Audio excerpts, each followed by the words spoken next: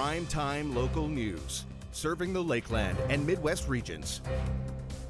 Good evening and welcome to Primetime Local News. One more person who tested positive for COVID 19 in Saskatchewan has died.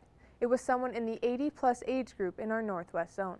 The government is opening the vaccine booking system up to everyone aged 40 years and over starting tomorrow. There are 205 new cases in the province with 11 in the Northwest. Almost all of them, nine in total, are in the immediate Lloydminster area, where we have 97 active cases.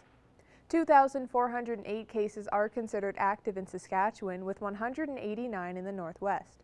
186 people are in hospital, with six in the Northwest. To date, 185 cases in our zone are variants of concern. Close to 422,000 vaccine doses have been administered in Saskatchewan, with close to 30,000 of those in our zone. Lloydminster City Council has agreed to share the cost of a culvert installation with RM of Britannia. Jace Maki has more on the project and why Lloydminster is covering half of the cost. The RM of Britannia reached out to the city of Lloydminster to discuss sharing the cost of a culvert installation at Range Road 3273 east of the city in early 2020. The RM wanted the city to share the cost because a large amount of the stormwater that runs through the system comes from Lloydminster. That water moves each spring and every major event through that complex when when it rains, snow melts, and things like that. City administration wanted the RM of Britannia to provide documents such as engineering drawings and landowner notifications before agreeing to co-fund the project. The RM did not provide the city with the information and continued ahead with the project. Then, in March 2021, the RM revisited the idea of cost sharing and provided the city with the documentations for the project. City administration supported the co-funding request. We have an interest in the roads to the perspective that we have to be a good neighbor. That water would be significantly less if there wasn't that complex. That complex serves the city, serves the county of Vermilion River, serves the RM of Wilton to the south with drainage that comes through the city and, and it definitely grows with the city and comes out in the northeast. City Council approved the agreement and will contribute over $73,000 to the project. A caveat was added that co-funding requests going forward must have more collaboration and input from the city to ensure the project meet the city standards and practices. They went from three culverts to two, but larger capacity. So they improved the hydraulics of the culverts capacity, which is very important to move that water as quick as possible because you don't want to back up water onto roadways. That softens up roads at certain times and things like that. So it's important that we we step up, and certainly we appreciate the partnership we have with our respective rural municipalities and county, and we'll continue to work with them on projects that are beneficial for both parties. For Primetime Local News, I'm Jace Maki. With the weather starting to get warm, the risk of encountering rodents is up, and so is the risk of contracting the hantavirus from deer mice. Connor Chan has more on some of the health risks and how to protect yourself. The hantavirus is an issue every spring with warm weather on the rise. The virus itself can be fatal, but can present itself with flu like symptoms and other serious health problems. So it starts off with you'll have headaches, you might have fever, you'll have respiratory symptoms. But if you progress towards hantavirus pulmonary syndrome, which is the final stages of the disease, your, your blood pressure will start dropping, you'll have lung congestion, and you'll have severe respiratory failure as well. In a COVID 19 world, there can be confusion between the two viruses. However, the important thing is if you do start feeling any flu like symptoms, is to go see your doctor right away. So, how would you know if you've gotten hantavirus infection or you've got COVID 19? So, I think the, the, the really important part is you want to know if you've come in contact with rodents or if you've come in contact with a place that's been infested with rodents. Because right now, because we live in we're living in a COVID-19 pandemic, there has to be differential diagnosis to identify if you've gotten COVID-19 or you've gotten hantavirus infection. While there is no licensed vaccine for the hantavirus, there are preventable measures people should follow, like wearing the right protective gear and avoiding dry sweeping or vacuuming in enclosed buildings or any other equipment that has been stored away for winter. So perhaps you could use damp sweeping or you could use bleach to decontaminate before you start sweeping up rodent poop and rodent urine as well. So if you know if you this if there is evidence of rodent infestation, you want to be extremely careful going into these areas and start cleaning up. Since 1994, only 12 cases in Saskatchewan resulted in a fatality from the hantavirus. More information on what to look for can be found on the Government of Saskatchewan's website. Connor Chan, Primetime Local News. A grade 8 student from Bishop Lloyd Middle School recently placed in the top 10 in a competition put on by the Battle River Watershed Alliance, and now her ideas will start to make a difference in the community. The competition is called Caring for Our Watersheds. The students were presented with the question, What can I do to improve my watershed? Maheen Mangla submitted a 1,000 word essay describing her idea, where she finished in seventh place. The main point of my project was um, waste management and taking all the resources that are being wasted and execute them into good use. Since she placed seventh, she won $450 for herself and for the school. In Maheen's essay, she described a four step process that could bring a positive change. Collect um, local agricultural runoff from local farmers, uh, produce from our from Walmart, and make that into natural compost. And with that compost, we were going to grow a class garden at Bud Miller All Seasons Park and then the vegetables that grow, we would have donated them to um, the local food bank. Students are learning more about the environment and how to preserve it, which helps set them up for years to come.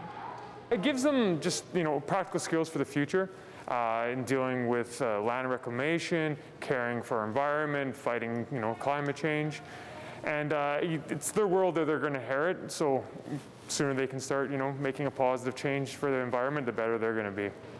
With the ideas from Maheen's essay, the school will now be implementing them so the students can have a hands-on learning experience. And with uh, some grants that we got and Maheen's money that she won, we're going to do a local uh, garden right here at school. So the kids will be planting the, the vegetables and caring for the vegetables and harvesting them in the fall. And Maheen's happy that her ideas can inspire some change. It means a lot because I didn't think I would get this far, and now I'm pretty excited since my idea is going to be implemented in the next few weeks. They will also be growing sage and sweetgrass in the garden so they can work with local elders and knowledge keepers in the community and use it in ceremonies at the school. Now our Connor Chan will take a first look at your weather forecast.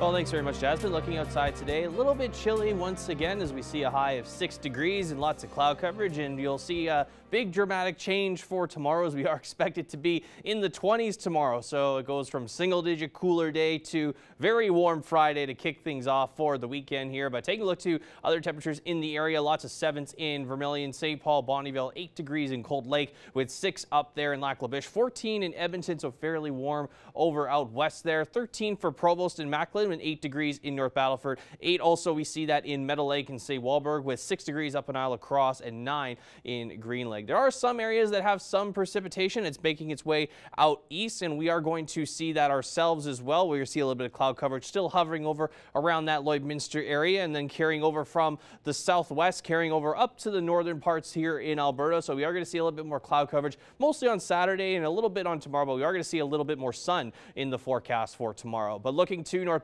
Overnight, 3 degrees as they drop to that as they go to 23 degrees tomorrow with the daytime high. So again, lots of temperature shifts, uh, dramatic temperature shifts we'll see here in the immediate lakeland areas for tomorrow. 2 degrees overnight in Cold Lake with that same cloud coverage going into 19 degrees tomorrow with the west with the winds coming in from the northwest west at 22 kilometers an hour. So it could be a little bit chillier than that, but not too, too bad. And then for us here, we drop 2 degrees overnight at 4 is what we're expecting. And then 22 will be our daytime high for tomorrow with a little bit more cloud coverage and a little bit of sun, not a whole lot. But as we look ahead to the next three days, there is a good chance we'll see some showers all weekend long with a high of 15 degrees for Saturday with a 55% chance of that rain occurring and then 11 degrees on Sunday as we'll see a little bit of sun coming up and then the winds will also pick up a little bit there with a 60% chance of some rain and then we will probably see a stoppage there and then we'll see a little bit of normal temperatures and normal cloud and sun mixes starting on the Monday throughout the rest of the week. That is a look at your weather for now. We'll have more prime time local news after the break.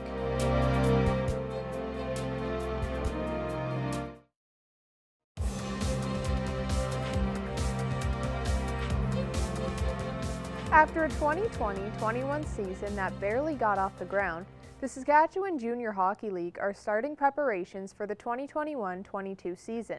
Evan Kenny has more on what this will mean for teams and fans next year. The 2020 SJHL season was a memorable one, but not for the right reasons.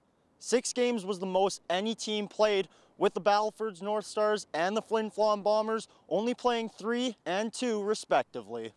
You didn't know what to think. You didn't, you know, obviously, uh, you know, everyone had their doubts if it was going to go or, or not. And, you know, obviously at the end when it was, you know, canceled, it's obviously disappointing for, you know, the players and the staff and everyone involved, right? And fellow coaches around the league would agree.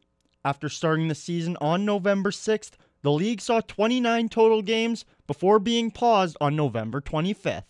Overall, you know, right when we got shut down last year, we really didn't know where the where the future was, was going. You know, I think overall, you knew you didn't know if you'd start, you didn't know when you'd start, yeah, you didn't know what was going to happen with restrictions all the time and everything like that.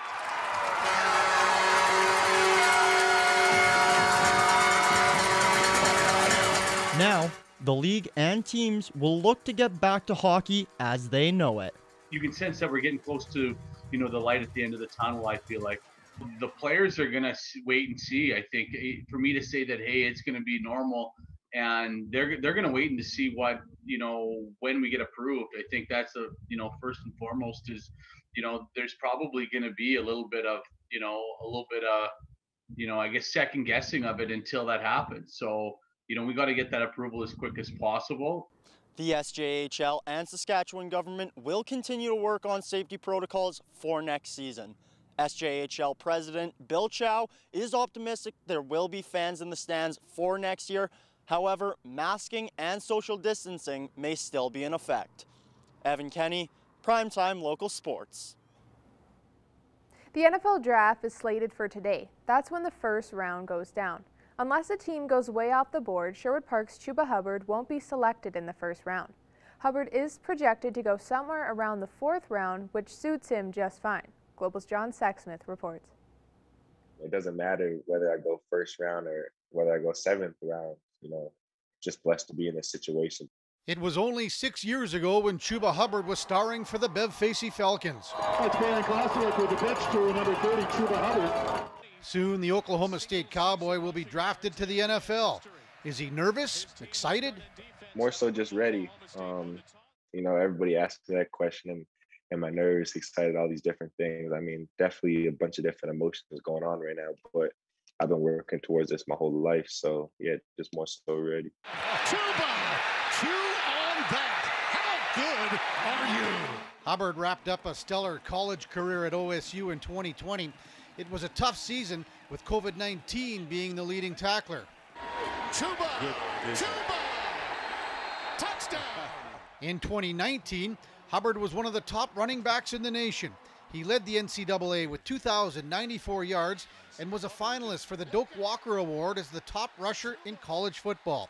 It begs the question should he have declared for the NFL draft a year earlier? People ask me that question all the time you know, do you wish you had left last year and all this stuff? And, you know, the answer is no. You know, I live with, you know, no regrets. I came back to get my degree. I graduate next week. Um, and I came back to win a national championship with my teammates. You know, obviously I wasn't able to do that, but you know, it's just how life goes. Hubbard has been training in California for the last four months or so. It's been a different lead up to the draft with no combine. Hubbard said he has done too many Zoom interviews to count and has spoken to every NFL team. And he's had to answer the odd, wacky question or two along the way. What would, um, if your mom could change anything about you, what would she change? And I was just kind of like, that's my mom. She she she's not gonna change anything, you know. she loves me, so she thinks I'm perfect. That's what I told them. So Hubbard's immediate goal is to play in the NFL, but down the road, what about ever suiting up in the CFL? I definitely consider it. Hard for me to say, you know, what, what will happen in the future, anything like that. But yeah, I definitely consider it. Now our Connor Chan will take another look at your weather forecast.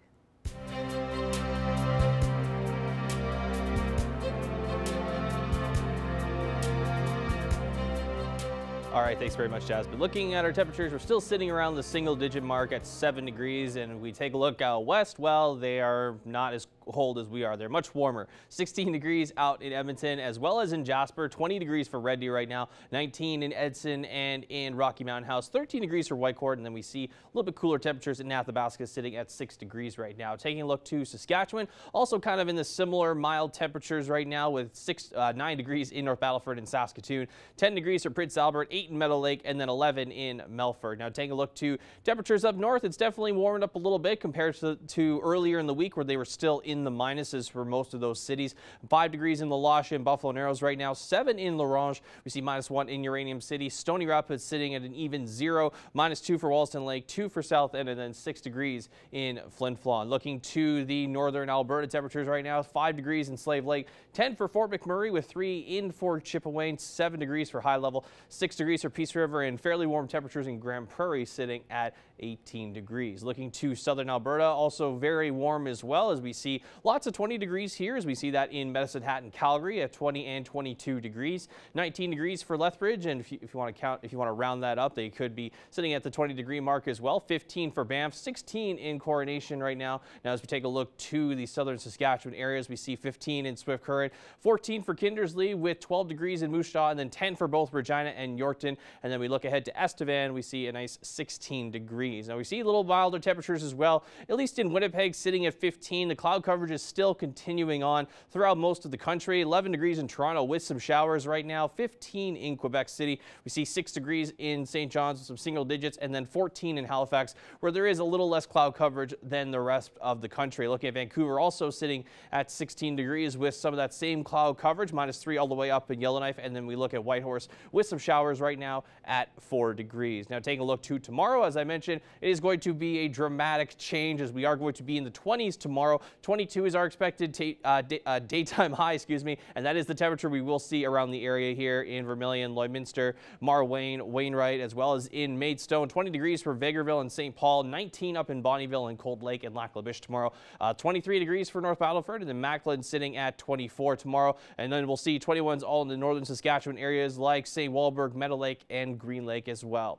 Now take a look to the next seven days. We are going to see some showers starting possibly Friday night, carrying over into Saturday, where we will see a 55% chance of some rain throughout the day with a high of 15 degrees. And that'll carry over once again into Sunday with a high of 11. Going into Monday, the rain will stop there at a high of 13 with uh, sun, uh, sun and cloud mixes throughout the day. And that'll be the result for the coming days ahead there, but with a high of 14 on Tuesday and Wednesday, and then a high of 15 there on Thursday. That is a look at your seven day forecast. We'll have more prime time local news coming up after the break.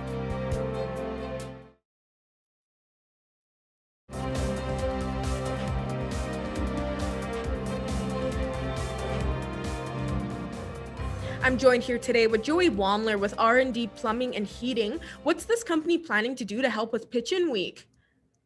Oh, we're just going to do a garbage pit on uh, 12th Street there. I've just noticed once I've drive by that street, it's got lots of litter out there. We're just hoping to do a big cleanup on that from 50th Ave all the way to 75th. We're trying to do today. And do you hope to make this an annual initiative that R&D Plumbing and Heating does for a Pitch-In Week each year in the future? Yeah, it's kind of something that I just came across on social media, just seeing that the city of Lloyd had it out on their website that they have this Pitch-In Week, uh, kind of new to me or whatever. So yeah, it might be something that we do annually just to keep it going. And will there be other residents joining you so far for tonight? Yeah, we're actually going to book off the whole crew, and hopefully we can get majority of the company out there. We're probably going to hopefully hit 20 people or so, hopefully, and hit the ditches and start picking. And for people wanting to join in, where can they find more information online to be able to know where you guys will be and what time and everything? Um, I'm not sure on that. The City of Lloydminster website has the Pitch-In Week thing. You can go on there and register stuff on there, and I think let them know that way. And do you believe there's been lots of support with Pitch-In Week throughout the community so far from what you've seen? That I don't really know. I don't think so because once you drive around, you do notice lots of garbage. You don't notice many people out there. I don't I seen a guy actually today picking bottles out on a road ditch, but he was just doing the bottle picking. Mm. And how long do you all plan to be cleaning up outside in that area for tonight? How long do you think it'll be? Hopefully no more than a couple hours. I think we have the manpower to do it and we should hit a couple kilometers. It should only take a couple hours to do that, hopefully. And are there any other initiatives you plan to do for Pitchin Week this year? Or is your company planning for other initiatives for next year's Pitchin Week? Uh, maybe just pick up in another area somewhere. I just I just drive 12th Street lots, so I just noticed that that was pretty heavily garbaged, and maybe we'll do something else next year. See how it goes this year. We might be able to tackle more kilometers, depends on how fast this one goes. And how do you personally believe that other people in the community can help support more with Pitchin Week here?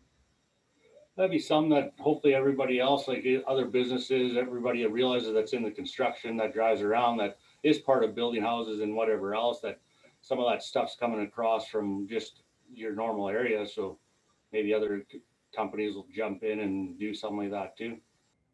And why do you believe it's important for you and your company to do this tonight for Pitchin Week? Oh, it's just something that we're just involved in the community lots. We support the community, the community community supports us lots. I got a young family. It's just a good example too for people, just to see like it does. It doesn't take much time to do. Just go out there. It doesn't have to be two hours. It can be 20 minutes, half an hour, whatever, and you can pick as much as you want. You don't have to go crazy. And is there anything else you'd like to add for people to know about for what you're doing tonight? No, not really. I don't know. Just if you want to help your community and you have some spare time, just go out and pick up some garbage. That's all it takes. Perfect. Well, I hope lots of people are able to sign up and help out with this initiative tonight. Thank you so much for joining me today. No problem.